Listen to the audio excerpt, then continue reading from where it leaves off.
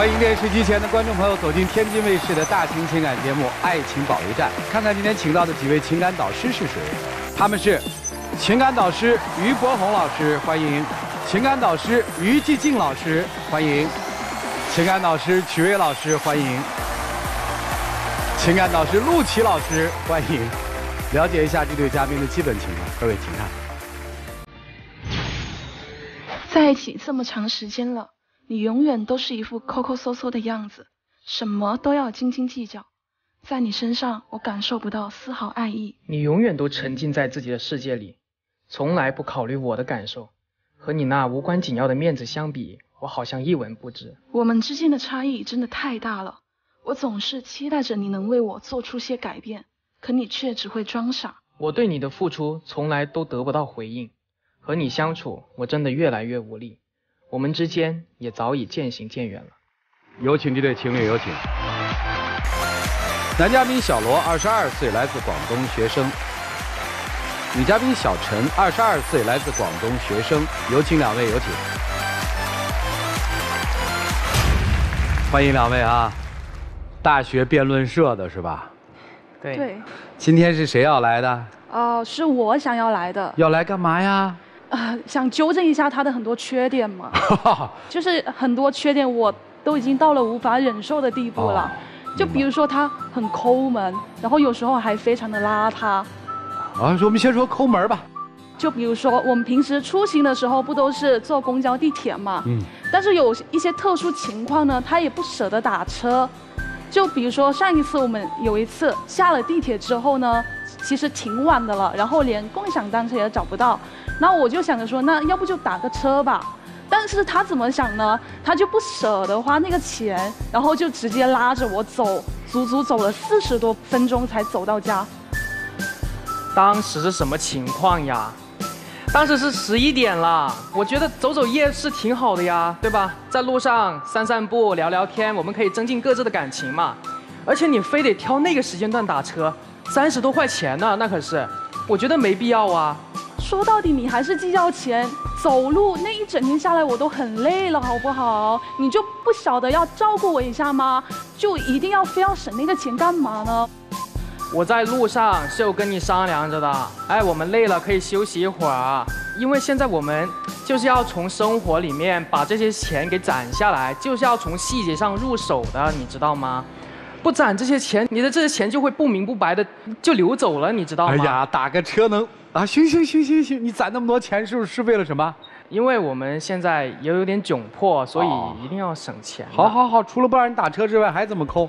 哦，那那平时为数不多，我们去出去旅游呢。嗯。本来两个人说好到那里去玩的呀，挺开心的。然后到了之后呢，你让我一个人去玩，然后你就说你在那里等我，那能叫玩吗？啥意思？就是我们去到一个景区，他不进去，你去。我是不跟你进去那个游乐措施那里玩，景区的门票我是买了，然后花了好多钱呢。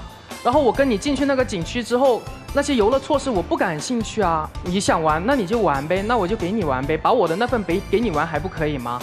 对吧？我没有必要花这份钱呢。你玩了之后我就在等候区那边等你出来啊，我觉得挺好的呀。行，你说你不感兴趣，那吃饭呢？吃饭总归是我们都要一起吃的吧？但是你怎么做？我们到了饭店之后，我一个人点餐在那里吃，然后你在我旁边干嘛？在那里吃泡面呢？为什么吃泡面你也能拿出来说呢？就景区里面的东西有多贵，你不知道吗？就一个单人套餐能花八十块钱呢，两个八十块钱加起来就一百六了呀，一百六就是够我们的车费了已经。而且我把我那八十块钱给你吃还不行吗？你就是特别会计较，有时候好吃饭这些我们不说，有一些很小的事情你都会计较，计较到什么程度呢？就有时候手机我没有流量了，它流量比我多一些，我就想着说让他开一下热点给我用，嗯，但是我还没开一会儿，他就怎么说，在旁边一个劲的催我说啊用完了没有啊？用完了没有？没用我就关了，不就是一点流量吗？你一直催有什么意思啊？那个是钱呐。对呀，就是很计较这些事情啊，嗯而计较到什么程度呢？有一次我们去坐地铁，就是进地铁的时候不小心把这些口罩绳给扯断了，我就想着说，哎，那就买一个新的呗。但他怎么做，他就让我将就一下，把它绑到我的耳朵，就固定一下，就觉得 OK 啊，没问题啊。当时什么情况？我们离家还有几步路的距离了，十分钟不到了，对不对？我们绑一下，忍一下嘛，好不好？我们家里那么多口罩，我们用得完吗？啊，你又花那个冤枉钱干什么呢？你就不会从这点细节上入手吗？哎，我不是说这节约这事儿不好啊，但是你这么做的让人听的，就这事儿有点过了，知道吗？啊就我我自己的理解啊，也不是啦，就是我们现在是刚出来实习嘛，然后我们工资也不多，再加上房租，然后每个月如果是一不小心的话，就又会流走很多钱。好吧，还有一件我觉得很过分的啊事，情，说有一次我过生日，然后刚好有个机会，就可以说是兼职充场吧，就是每个人有一百块钱报销这样子。那本来挺开心的一件事情啊，就是可以免费吃东西。然后他怎么做？在我点完菜之后呢，他就想到了个办法，就很投机取巧，然后就想着说把这个东西退了，然后就不吃，然后挣那个钱。你你说这算什么？当时是饭店里面有那个活动，有我我们可以去充场，然后呢，我就问了服务员能不能把这个啊原本可以免费的饭钱给他退了，退了就能赚钱了呀，我就试一下呀，对吧？结果服务员哎，一打听还可以，那我为什么不这样做呢？哎呀，来吧，咱们说邋遢吧，不想听了，听得塞心的哈。说回邋遢，生活上他有多邋遢呢？就拿洗衣服这件事情说吧，他洗衣服、袜子、内裤这些从来都不觉得需要分开洗，然后衣服一堆就会堆一个星期才拿去洗，晾衣服也不好好晾，我没有不晾呀，我只是晚一点晾嘛。我堆个几天的一起晾不可以吗？我上班已经很累了，然后下班还得干这种家务活，我就觉得没必要吧。然后一次性把好几天的干完，我觉得挺方便的，没问题啊。啊，行，生活习惯不一样，不一定邋遢。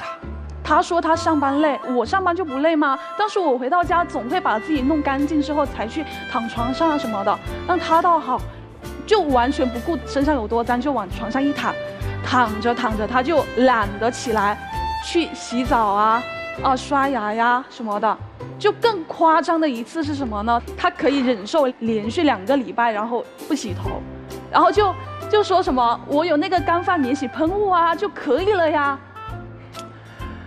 叫免洗干发喷雾，免洗不用洗，干发就是平常我洗头我都弄得头发乱糟糟又湿的，我又不能直接躺床上，对吧？它就不没有那么麻烦。喷雾它就是个喷雾，我觉得这个产品就是为我良心打造的呀，对吧？我觉得就是为我打造的呀，我觉得没问题呀。我就是上班太累了，我不想花那么多精力去应对这种事情，我就喷一喷，我就往床上一躺，挺 OK 的呀。就是懒，我觉得你找的都是借口。你懒到什么程度？有时候在家里吃饭，让你去洗个碗，直接不用洗洁精，然后就用清水冲一下，然后你就觉得它干净了，它 OK 了。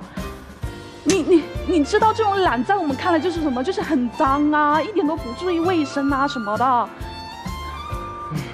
为什么在你眼里我总有那么多细节可以抠呢？洗个碗你也要抠我，我是那种就是看到这个碗没有那么脏，我就不想花那个洗洁精，你知道吗？我就拿个清水冲一冲也可以应付一下子，对吧？看吧，哎就连洗洁精都能节约，我都不知道节约了它来干什么。有时候说你几句你还不乐意，就觉得啊我好啰嗦啊，然后你好委屈啊，明明都是你应该去改正的缺点呢。姑娘，你是不是觉得他特懒？对，特别懒，我觉得他要说他是天下第一懒，你觉得你是天下第几懒？他就是天下第一懒。我觉得他不是，你是，他是天下第二，你是天下第一。你要是这么受不了他，你为什么不走呢？你说你得有多懒呢？怎么还说他呢？别说他了吧，你这么说他，你你不就说你自己吗？这不是你选的人吗？那一开始的时候他也不这样啊。他现在已经这样了，赶紧跑啊！每个人都有缺点，那我也认为我也有什么缺点在的吧？那我们就是要相互磨合吧。就是我我说他不好，他就有些不好，真的不好，他就改正呢。那我也相对应的，我也一样啊。你女朋友有什么不好的？你说说吧，我们听听。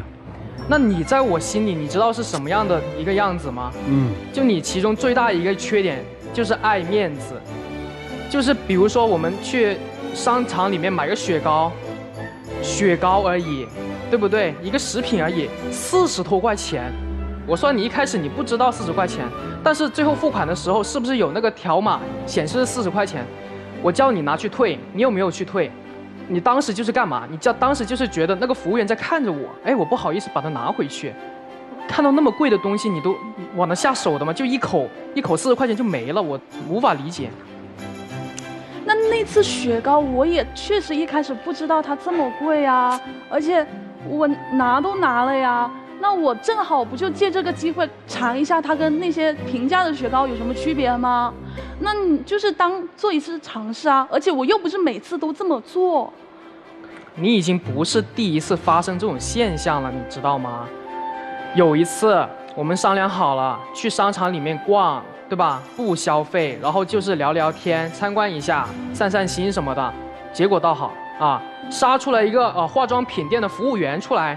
把你拉进店里面一顿推销，哎，结果你还真买了几百块钱的化妆品，你这算什么呀？不是商量好了吗？化妆品那是化妆品，每个女生都会有用到化妆品的时候吧。而且我那个时候不完全是被那个店员忽悠着去买的，我就是觉得那个他推销的那个我正好需要，而且我家里那个也正好真的快用完了。而且那个店员也跟我说了，那个东西是限定包装的，我要这一次不买，我下一次就买不到了。那我买它既有用，又买的值得，我觉得很合理啊，两全其美啊。你拿它出来说干嘛呀？我问问吧，就是在你的眼中，这个男生最大的缺点是什么？我已经听到两个了，抠门儿，另外一个是懒。这个男生最大的缺点是什么？最大的缺点就是。不听我说的话，简单点就是也不站在我的立场为我考虑事情。不听话和不考虑，男生你能回答我你女朋友最大的缺点是什么吗？她的最大的缺点就是，就是心里只有自己，你知道吗？哟，怎么这么说？在我看来，她就是变了，他跟一开始完全不一样了。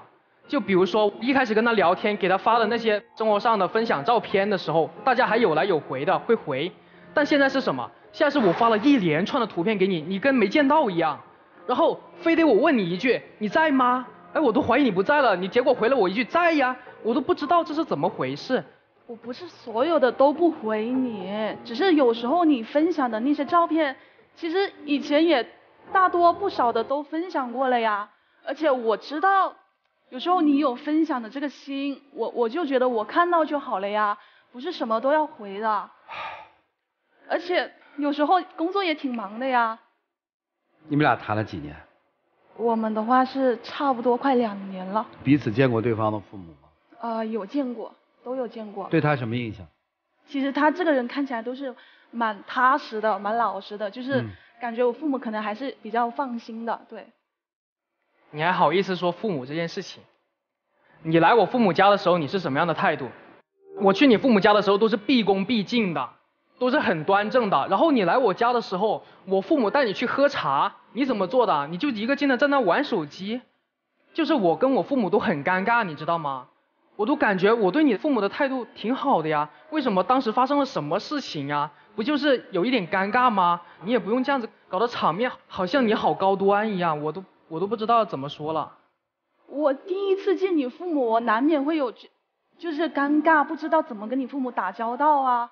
然后我当时玩手机，我不是真的全程都在玩，我只是也是想借过手机演示一下我的尴尬而已。那反倒是你，你你怎么不观察到我那种处境，然后出来帮我说话呀？你就只看到我埋头玩手机而已。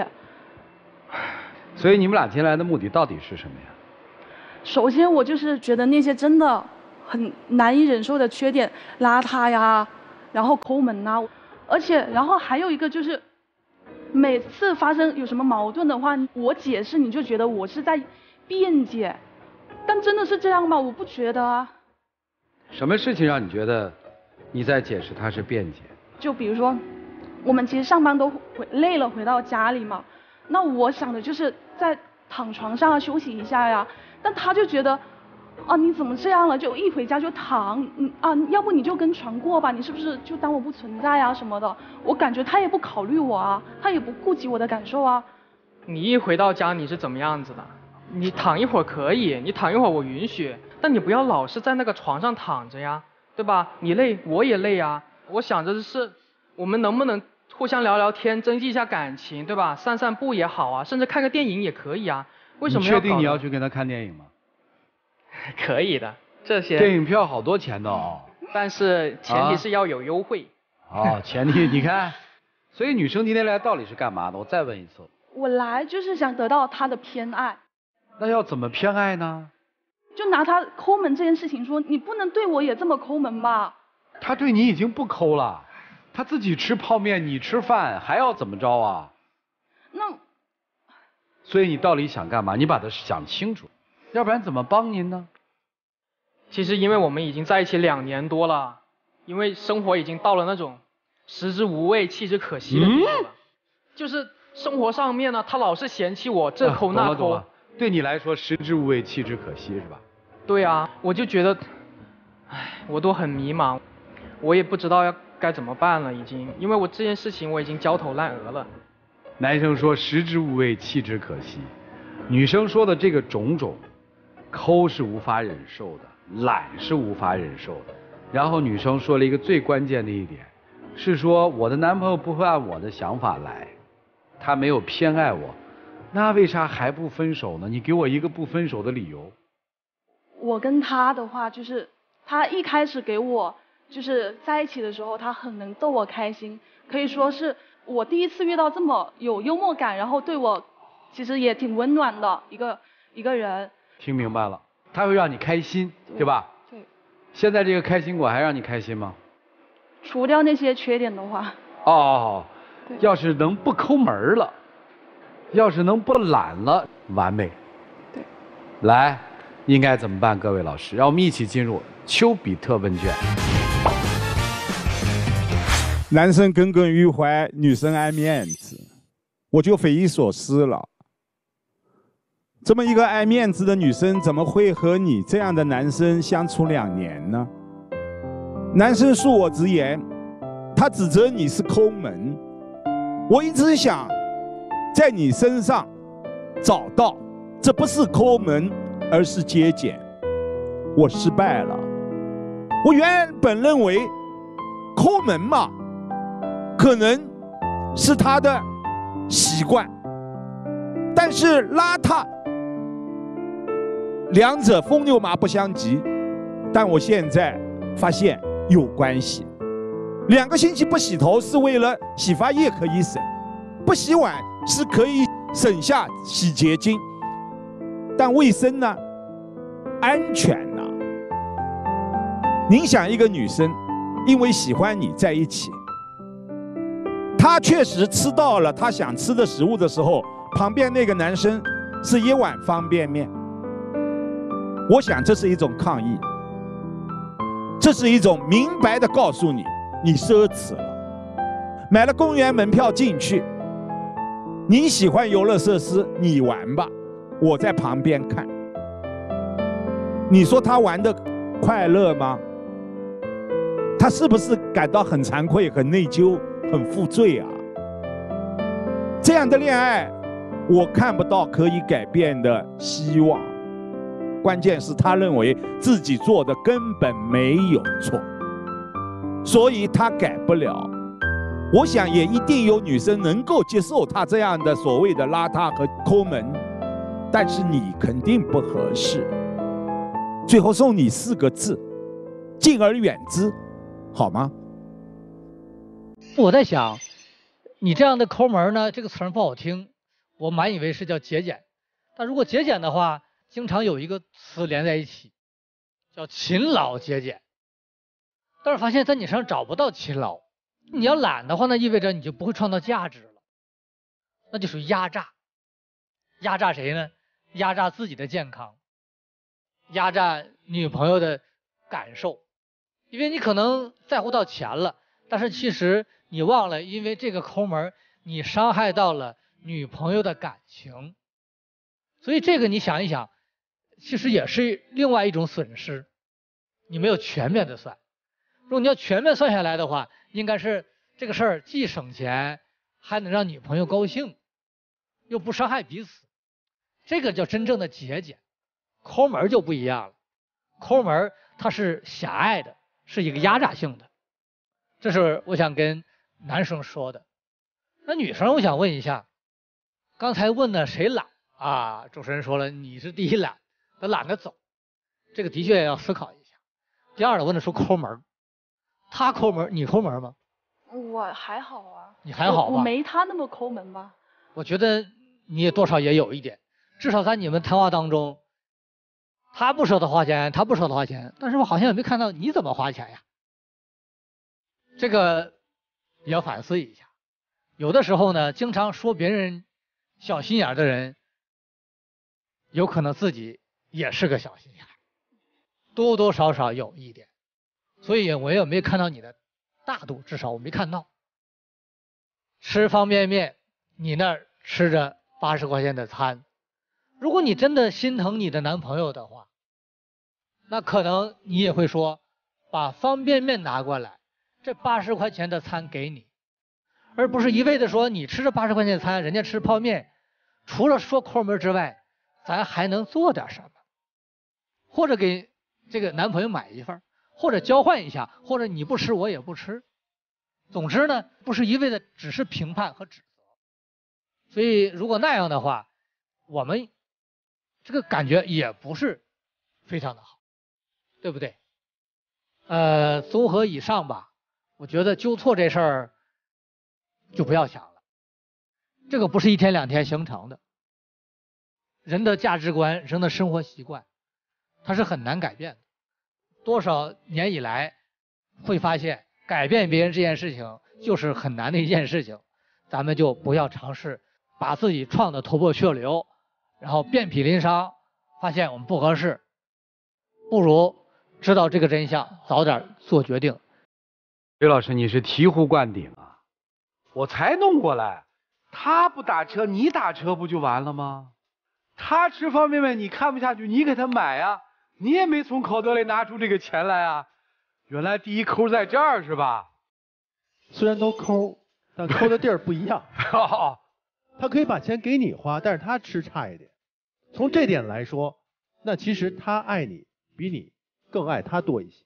比如说买化妆品，他即使再不乐意，他就是唠叨唠叨。你买没买？你买了，你对自己不抠啊。但他呢，就觉得哎呀，看不惯你这种消费的观念。那个雪糕你吃了，对不对？但为什么没给他买一个呀？你们俩抠的方向不一样。其实他更爱你，但是呢，你呢却一边占着便宜，利益的既得者，又看不上那种观念。可他真是啊，已经把所有他能做到的都做到了，但是你没有领这份情，你们俩不会长久，因为你们俩因为消费观的不同，你们总是无法一起做一件事情。你们俩能不能继续下去呢？挺难的，挺难的。关键你能不能领略到他在抠索自己的时候，在节俭的时候对你的那份心？你的你的钱交给他吗？啊，没什么钱，所以你直接回答我，那就是不交喽。呃，各自有各自的钱，我们现在是没有说谁管钱之类的。好的，对于你们都抠的人来说，我只能说，爱在哪里，钱就在哪里。所以你们的爱都在自己这儿，没有在对方那儿，就这样。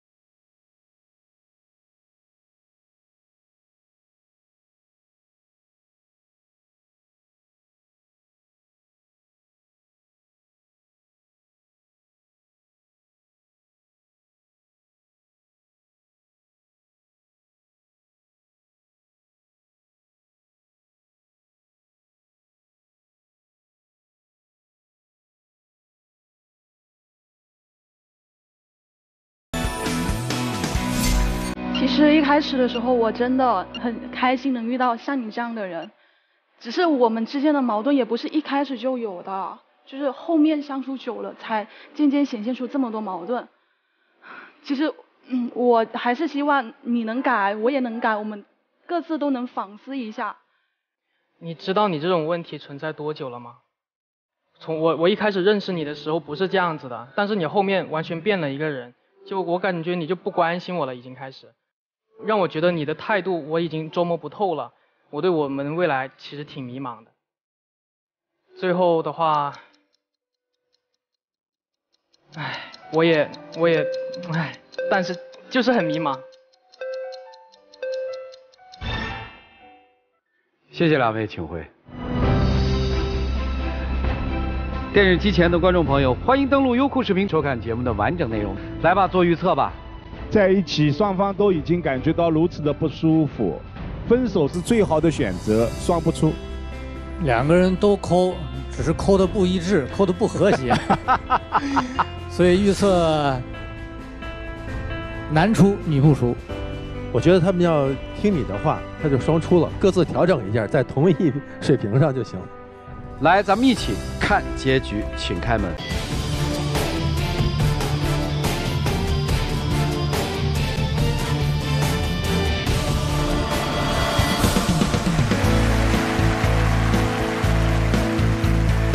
你们俩就好好的吧，别去抠别人了，想想幸福到底是什么。谢谢老师。来吧，我们一起见证属于他们的浪漫时刻，请见证。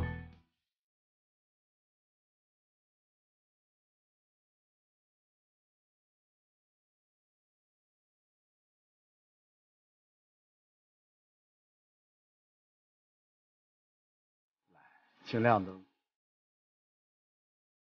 谢谢两位，请回。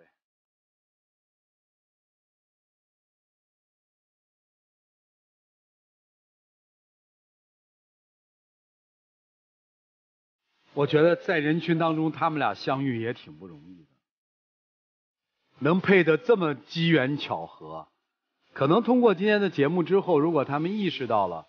把自我这部分再放出去一些，也许这一对会幸福的生活。来了解下一对嘉宾的基本情况，各位请看。你真的太恋爱脑了，你的眼里只有情情爱爱，却忽视了周围的一切。你永远不知道我想要的是什么，你只会给我那些虚无缥缈的承诺。你的敷衍让我感受不到一点爱意。爱情需要的是双向奔赴，我一直在为我们的未来努力，可是你的态度。让我觉得自己就是个笑话。我们都已经不是小孩子了，各方面的压力每天接踵而至，但你的幼稚真的让我看不到一点未来。有请这对情侣，有请。男嘉宾小胡，二十二岁，来自甘肃，程序员；女嘉宾小鱼，二十六岁，来自成都，新媒体主播。有请两位，有请。欢迎两位啊，是在旅行团上认识的，是吧？对。追的时候知道姐姐比你大吗？当时，啊，还是知道的。知道的。对。咋知道的呢？当时也是通过朋友一起去旅行的嘛，然后也是在朋友那边问到的嘛。哦，喜欢他。呃，喜欢啥？个子高，帅。对，个子挺高的。啊，行行行，今天为啥来？啊，今天我就是感觉到哈，就后面他不是在工作了嘛，啊，因为他工作忙的一个原因，还有就是后面发现他一些不成熟的表现和一些幼稚的表现，我就感觉我们俩之间的矛盾就越来越多了。嗯，再加上我们之间可能也有年龄的一个差异嘛，就是我也不知道我们接下来该怎么就是再走下去了。今天是来问路的是吧？对对对，想知道怎么走，怎么了？他的。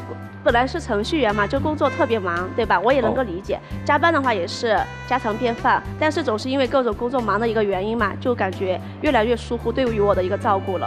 啊，咋会呢？就是平时的话，因为嗯我也有出差嘛，然后就是约会的一个时间本来就很少，一个月的话也就那么一两次。然后他因为每次工作忙的一个原因呢，然后他就给我推脱了，就见不着面是这意思？对对对。可是的话，那我也要加班啊，这也没办法呀，我也跟你解释了呀。关键是，他每次解释了过后，我就觉得很敷衍我。就是你就再怎么加班的话，也不可能每次加班，对吧？你总会抽出时间，就是出来约会啊，怎么怎么样的。就是每次就是以加班为理由，然后就拒绝了。哦，那就没约过会。啊，也有。之前的话，就比如说，呃，因为我会订电影票之类的吧，结果电影票也没订好了，然后他也没有来，然后我会提前去约餐厅，有些时候我约好了餐厅，也有他也迟到，然后让我等了一两个小时。更有一次就是说我已经订好了旅行团的一个票嘛，飞机票也买好了，他都没有来，然后我也直接损失了几千块钱。可是我呀跟你说了呀，再看嘛，我也没答应你那个时间有就有时间出去嘛，我就说再看嘛，结果你就自己就把票就订好了，我有什么办法？我都跟他说了，我说你不是有年假嘛，对吧？你年假请了可以跟我去啊，但是他还是不听，然后他就直接还是就呃没有去，然后我就觉得就是每次约好的事情嘛，他都不遵守。嗯。就比如说有一次就是我们已经呃约好了出来看电影嘛，对吧？啊。然后他当时就领导给他打了一个电话，然后他就直接去工作了嘛，然后就把我一个人丢在电影院，然后我就觉得他就是每次就是很敷衍我。这个除了时间上忙还有什么呢？还有一个就是他平时有一个习惯嘛，然后他不管是去哪儿都喜欢提着他的一个呃电脑包。我跟他一起去逛街，然后他就一个人坐在沙发那儿，然后他就在敲什么代码之类的，然后修复什么什么 bug。然后我试完衣服，我就问他好不好看，他就很敷衍我，他就说嗯嗯好看好看，就这样子很敷衍的样子。啊，可是的话确实就是那样呀，好看的话我就跟你说了，你包起来嘛，不好看你就换一件嘛，我跟你也说了呀。你知道问题是女生的话需要是需要你去回应的，但是你每次就是很敷衍的说哦哦好吧，然后我就感觉你根本就没有很看待我们这一份感情。对呀，是我情商比较低啊，我只能那样回应你啊，我也不知道该怎么回应，我就说哎好嘛，然后你就包起来拿走就可以了。反正我就是觉得他平时生活中就是这个样子。更搞笑的是什么嘛？主持人就是那一次，比如说逛街嘛，就是他在沙发那儿就是工作嘛，对吧？工作到一半，他电脑没有电了，他直接把我带去网吧，然后他在工作，他让我一个人在那儿看电视剧，然后整个就是一天下来过后呢，他也觉得这一天挺充实的。你觉得这让不让人无语嘛？我就觉得你就是你约会的时候本来就是约好时间出来那你找的就是这么个人嘛？谁叫你找他的嘛？你在享受他颜值的同时，你就得接受这一切嘛。而且还有，就比如说他平时的话，就是还要每天哈，就是拿一个小时来自己做一个总结，然后还让我这一个小时的时候不要去打扰他。这一个小时的话，哎，主持人，我跟你说什么？可能很多人都需要这一个小时来总结一下自己的今天的生活啊、工作啊，这些都是很正常，对不对？嗯。然后的话，我就是总结一下我今天工作哪里出错了，明天哪里可以省掉，这不是挺好的吗？问题是你每次在总结工作的时候，你为什么不总结一下我们感情之间的一些矛盾呢？哎呀，我也看了呀，我们感情感觉挺好的呀，没什么啊。你看嘛，他就是这样说，每次都是这样说，就是完全找不到就是我们之间的一个矛盾点。行吧，你指引他嘛，你告诉他你觉得哪儿不舒服嘛，你说嘛。问题是对啊，就比如说有一次我不是吃东西可能过敏了嘛，然后我给他打电话，我说要不你送我去医院之类的，然后结果他就陪他什么朋友吃饭啊，或什么客户吃饭的，他说等忙完了然后再回我信息，结果忙完就没有音讯了。我在电话里面跟你说的很清楚嘛，有啥事你第一时间给我打电话嘛，你也没跟我说，我以为就是问题不大嘛，然后就你自己一个人去就好了嘛，然后当时也陪客户嘛，然后走不开嘛，然后客户老板都在，我不可能。就是你自己先走嘛，我也跟你说，如果你有啥事第一时间给我打电话，我也可以去解释，然后我可以先走的。反正你也没跟我说呀。反正你每次都是这样的一个理由嘛，就好比就是一些重要的事情，他总是缺席，就算是在的时候，他也是表现的很让人不舒服。什么重要的事情？就比如说有一次我约他跟我父母一起吃个饭嘛，因为也是第一次见面，好了解嘛。他因为工作的就太忙了，就推脱了。但是后面我第二次约他和我父母一起吃饭的时候，结果他在桌子上又不说话，然后后面的话又现场的在那什么忙工作啊，什么就在那敲敲敲，我看着都很恼火。反正我父母那一次就对他就感觉挺不满意的。嗯，第一次的话确实我做的有点欠妥嘛，但是我也解释了呀。第二次的话，哎呦，我当时坐在那也无聊嘛，也发呆嘛，然后正好有工作嘛，我第一次已经把你父母推脱了，我第二次。也不可能就是把你父母又撇在那，我又走了吧？我感觉就挺好的呀。你父母看着我那么工作努力，不是挺好的吗？但是我也没有看你工作有多努力啊，就感觉你每天都在加班，就感觉就是你的一个工作效率很低。所以因为你的工作效率很低，所以说你才加班的。不是你这个你就不用管他了嘛，你不喜欢你就翻身就走就好了。人家就是这样啊，在我看来可能就是不重视你啊，就是觉得跟你在一起没有什么意思嘛，就是这样啊。啊，除了这个，那你较什么劲呢？在那儿，我不知道啊。确实也是。是吧？嗯。除了这个还有啥？就是他也是一个真的特别直，而且感觉情商也特别低的一个人嘛。平时也不会注重你的一个什么情绪之类的。嗯。然后像之前我在上班的时候嘛，对吧？肯定也是受了一点委屈，想要人就是安慰一下之类的，给他发了一个就是比较委屈的表情包，他也觉得挺可爱的，然后还跟我开什么玩笑。我就觉得现在这个时候你还跟我开玩笑吗？主要是我跟你又不是同一个工作，我也不知道你是工作中因为啥受的委屈啊。我只能说，哎，你不要跟他们一般见识，不要往心里去啊。我只能这样了呀。而且还有一个就是生活当中嘛，一点仪式感都没有。比如说像什么周年纪念日啊、生日和情人节嘛，因为女生也是比较注重的嘛。结果你不提醒她的话，她永远都不知道。对我来看的话，我们都在一起了，这个纪念日啊，这个就没什么呀，这个不重要呀，对不对？哼，这个我感觉就是不重要呀。但生活当中本来就是需要仪式感呀。如果说生活中全是很平淡的，呃，过下去，你觉得还有过下去的必要吗？但是平平淡淡挺好的呀。如果你对那个中间日很重要的话，那一天、两天、三天的纪念日是不是都要过呀？我并没有说一天两天都要过，但是一些重要的一个节日，我觉得还是有必要过的。他给你送过礼物吗？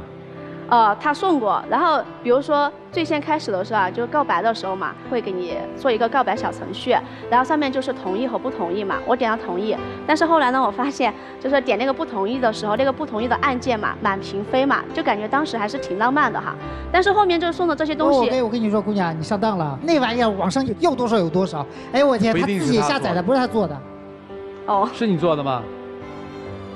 哦，也是看到攻略吧。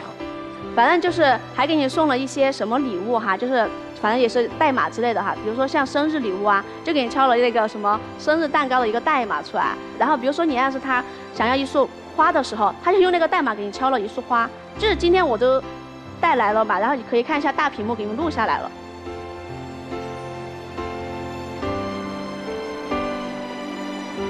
这挺好啊，也挺浪漫，我就感觉挺好的呀，我也是辛辛苦苦做的呀。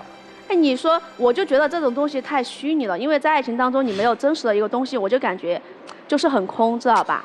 我之前都跟你讲了很多遍了，你这种东西送多了过后，我就感觉你没有诚意，就感觉很抠啊。啊！但是我也送过你现实礼物啊。哦，主持人你都不知道他送了什么现实礼物？他之前送什么假发片儿和那个什么抗秃神器？就是我在在想，我头发有那么秃吗？你现在都已经在送我这个了。为什么要送假发片和抗秃神器？在一起的话，他经常跟我抱怨，他说：“哎，他经常染发头发都要秃掉了。”然后的话，哎，这个的话，我这个有经验嘛，我们用的产品就是比较好嘛，然后就送给他嘛。哦哦哦，程序员都要用这个是吧？挺可爱的小哥哥。但是我都跟他说我不需要了，我就随便开一个玩笑，他就非要当真。但人家送你了。是送我了吗？但是这个礼物我觉得太不切实际了，我又不需要。但是你经常跟我说你喜欢有细节、有诚意的男孩子嘛，然后我的话，我把你说的每一句话我都记下来了。我这么关心你，还要我怎么样？但是我说的什么玫瑰花之类的，什么生日蛋糕，你为什么没有记下来呢？还要非要用那个代码给我敲出来？那不是挺好的吗？好吧，是挺好的。哎呀，你这恋爱谈的啊，这小伙子管你吗？呃，有些时候肯定要管啊，就比如说。就生活当中也是一个特别爱吃醋嘛，小心眼儿。我是一个新媒体博主嘛，因为我可能会出差，会接触一些异性，然后像什么男同事、领导，结果他倒好，每次我给别人打个电话呀，发个语音，他非要让我开一个免提，我就觉得挺无语的。但是我的话，我身为一个男朋友，你跟别人打电话，我让你开免提，这个很正常啊，吃醋很正常呀。是挺正常的，那。公司可能会给我们一些点子，让我们去下载一些交流软件之类的嘛，然后可以增加自己的流量，把平时的一些生活啊分享在上面。结果他每次看到，然后他就觉得，呃，好像不行，然后非要让我跟他解释。但是的话，你下载那什么啊？我都是你男朋友，你还要上面东西重新找一个男朋友吗？我之前我都跟他解释很多遍了，知道吧？唉，这恋爱谈，所以为什么不分开呢？其实之前我跟他在一起的原因也很简单，就觉得这个人的话，至少就是心地还是比较善良，人品这一块应该是过得去的。他不像那些什么花花肠子之类的嘛，因为感情当中肯定是人品第一位的嘛。所以说这一块的话，我还是比较认可的。那还说什么呢？都认可了嘛，就往下走嘛。对呀，然后的话，平常他生活中也会嫌弃我这儿，嫌弃我那的。嫌弃你什么主要？嫌弃我挣钱少啊，嫌弃我给不了他想要的，我不知道他想要的是什么。你觉得你每个月四五千块钱，你养活你自己，能养活得了吗？你还养活得了别人吗？而且你感觉你没有什么人生的一个规划。可是我刚毕业啊，我刚毕业，我现在这一步挺好的，我以我以后的升值空间还是挺大的呀。你觉得你自己有什么升值空间啊？我根本就没有看你的一个规划。问题是，我平常跟你说好好聊天，你都要跟我抄一下。然后的话，他在家说我的，有些人真的说的很过分，看不上你是吧？对。然后他平常在家说我，哎，没出息啊。他说我最过分的就是说我，我还不如之前追求过他男生的一半好。这个我就感觉真的是把我贬得一文不值。人家有些男生至少年龄大，他成熟，至少懂得女生的一些细节，对吧？考虑女生一个感受。那你去找啊。没有，因为之前那些，比如说有些男生的话，因为就是太远了嘛，可是这是异地，然后我想是本来都是在成都定居的话，这样的话就挺好的。然后也是因为个人原因嘛，所以说就没有去找其他地方的男生了。而且就比如说我平时都有在规划未来嘛，因为。年龄毕竟也挺大的，然后我肯定要考虑一下房子一些彩礼的一个问题嘛。就比如房子，因为他才毕业，我也没有说你一定要买，对吧？但是你一定要把它规划在内。但是他从来就没有看到他规划过房子之类的一个事情，像彩礼的一个事情，我都给他讲过很多遍了，就说或多或少你肯定是要意思一下嘛。结果他倒好，他觉得反正都在一起那么久了，给不给都无所谓。就是我满脑子都是呃。我怎么听着好像你这是想结婚呢？如果说能走下去的话，肯定是两三年内肯定是想结婚的嘛。结果他倒好，他满脑子就是他的什么二次元世界，就跟他一个交流就完全就不同。可是的话，那要我也有规划呀，我肯定是有规划了。但是我现在刚毕业，我拿不出那么多钱呀。然后的话，我喜欢二次元，难道你就不能因为我而去了解一下二次元是什么事件呢？你喜欢的东西，我可以专门去了解，跟你找共同的话题。难道你不能因为我而找一下？他喜欢那个到什么程度？就是平时的话，就是下班了过后哈，坐在电脑前，然后看一些虚拟的二次元主播，跟他们进行一个弹幕互动。一刷礼物的话，就是刷好几千。然后平时他上班的工资都没有那么高，平时给我买礼物都舍不得。然后就是为了加人家声优的一个微信，看人家长什么样子。可是的话，那也是我自己的爱好啊，那是我自己的圈子，我跟你又聊不到一起去。然后的话，我加他们微信就是，哎，他跟我们有话题聊，不是挺好的吗？所以其实你。并没有你说的那么忙碌，对吧？你至少还有时间跟声优聊天嘛，对吧？所以跟小姐姐在一起又没有共同的话题，为什么还要跟她在一起呢？又聊不到一起。这个可能就是第一眼吧，就那个一见钟情吧。然后刚开始跟她相处的时候，她对我还是挺好的，挺照顾的。现在呢？现在的话，那就是。最多就是一个催促，而且一个监督，就是贪恋小姐姐对你的照顾，是吧？啊，对。你有想过跟她分手吗？暂时还没有吧。还享受着她的照顾，对吧？而且对你脾气挺好的，对不对？说不约会就可以不约会，对吧？只要说加班，她不会追问你，对吧？对。然后二次元跟这些这个虚拟主播。聊天打赏，他顶多说一下你，但不会深究你，对吧？对。今天来干嘛？就是想解决一下矛盾嘛，感觉现在就是很难走到一起了。你愿意交往下去吗？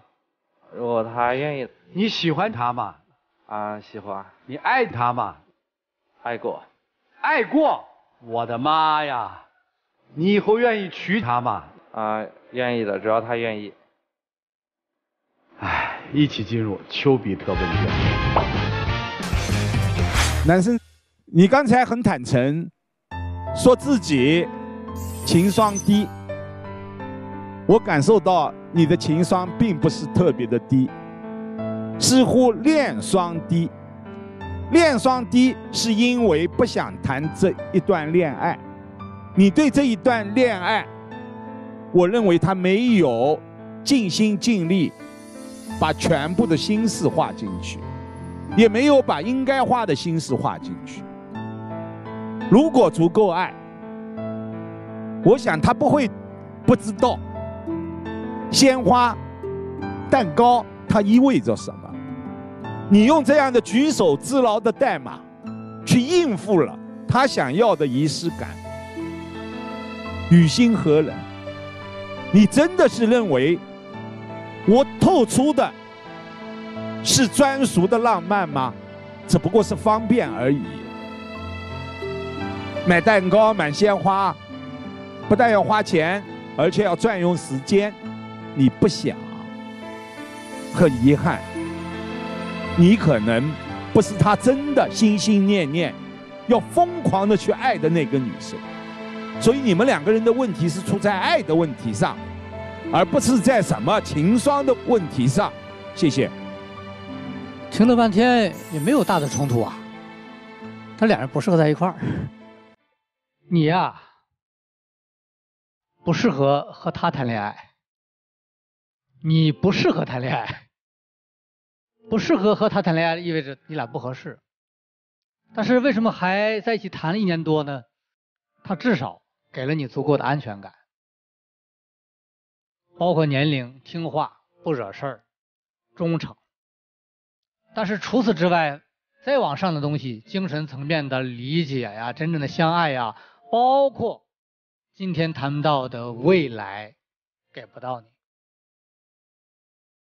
所以安全感不足以让你走更远。男生呢，有句话。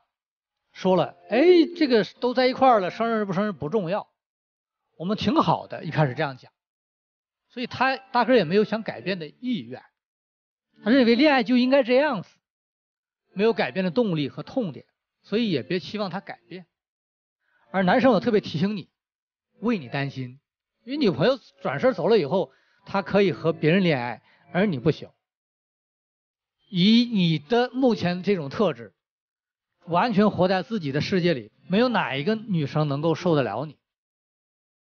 然后一谈恋爱了，稍稍时间长一点了，连重要的节日仪式感都没有了，不懂得体贴人、了解别人、理解别人、走进别人内心，没有共同的话题，那你只适合单身。所以老师特别担心你这一点，所以兄弟，这个你要重点考虑。我觉得他们只是因为需求，你需要这么一个对象。他像一个电脑一样，你随时回家可以随时面对他，他就在那里。所以呢，你这是满足了你近期的需求，但你随时会离开，因为你你想的是说，哎，这个电脑它会变成人，它会主动的向你示好，它会和你互动，它会体贴你，但是它一定不是。男生啊，他就如同你另外一台电脑，他可以帮你做饭，可以照顾你，可以留在你的身边，并且还可以给你空间。他不太干涉你，就是因为他干涉的太少了。其实你不觉得不正常？他并没有真正的走进你的内心。你现在也没有在谈恋爱，你也只是满足自己一个需求而已。我有一个女朋友，长得还不错，你压根就不在乎她的感受，可以以加班为所有拒绝和她在一起的理由，可以把加班就就当做这个导向牌了。这不是爱情，你们俩在一起根本就不是为了爱情，只是解决自己眼前的问题，没有未来，只有当下，所以尽早分开吧，好吗？就这样。一句话就说完了。他喜欢你，但不喜欢谈恋爱。六十秒。反正我觉得，反正也在一起那么久了，就感觉你一直很忽视我的一个感受和一个照顾吧，就感觉你。从之前我觉得有一点幼稚，我都还能接受，但是到后面的话，我就感觉你给我的一个安全感也就越来越少了。我也不知道我们两个还能不能走到最后，这个我觉得就交给时间吧。跟你一起的话，我也改变够多了。我的话从一开始到现在，我感觉我改变的是确实很多了已经。但是我也希望你能够改变的更多一点，因为生活当中不只是柴米油盐，相对应的一个仪式感呀，然后对女生一个照顾还是应当有的。如果真的是这样的话，我还是会尽可能的去承担吧。还要留给时间呢。四位老师都白跟你说了是吧？谢谢两位，请回吧。电视机前的观众朋友，我们节目组的唯一官方报名热线是零二二三六零六三零幺，有情感困惑的观众朋友可以前来报名，不收取任何的费用，小心被骗。来吧，博红兄，预测一下结局。这段恋爱不用写程序，已经有结果了，双不出，肯定是不看好但是一会儿的结果呢我预测男方要出来。男出女不出？来我们看他们自己的选择是怎样的。请开门。